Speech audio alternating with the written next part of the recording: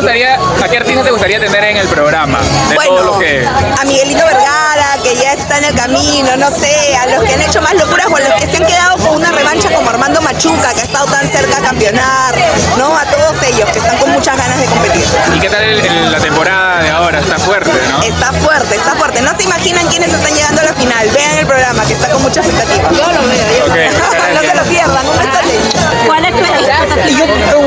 Expectativa, una gran expectativa teniendo tantas buenas actrices, tantos buenos actores, que va a ser un producto de primera. Eh, ¿Qué te parece que la experiencia que algunas este, producciones vaya a parte de la selva? Parece muy bien porque tenemos tantos atractivos y creo que las películas es el momento que se muestran todos los atractivos de los sitios, de todas las regiones, a las ciudades que hay en todo el Perú, ¿no? ¿Qué parte de la selva? Iquitos.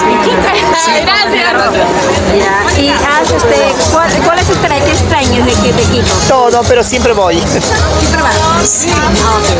Eh, Tina Bonita llegó a saber ya completamente.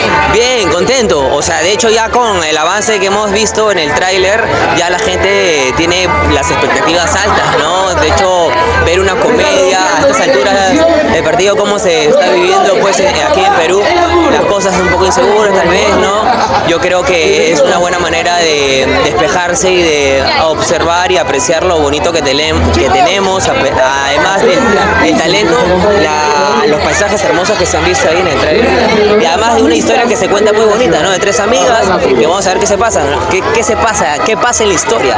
¿Te hubiera gustado participar en esta película? Claro, yo veo el tráiler y me vacilo. Yo como espectador sé que la voy a pasar muy bien y también me imagino que la han pasado muy bien todo el elenco, así como todos los involucrados en esta película, porque se nota que la chispa ha estado arriba.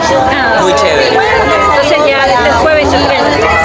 Así es, este jueves se estrena y la invitación está hecha. Vayan al cine a disfrutar de un buen cine peruano eh, con mucho talento y que estoy seguro que les va a sacar más de una carcajada. La Isla Bonita.